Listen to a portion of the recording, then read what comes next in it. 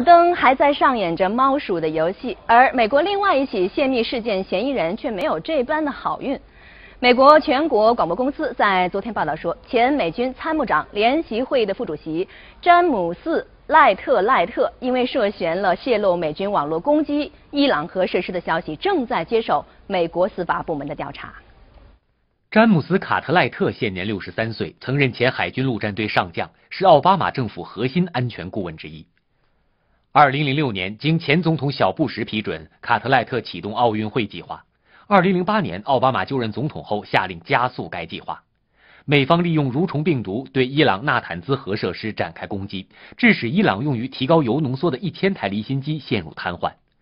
据白宫内政部评估，这些攻击将伊朗核计划进程拖延了十八个月到两年。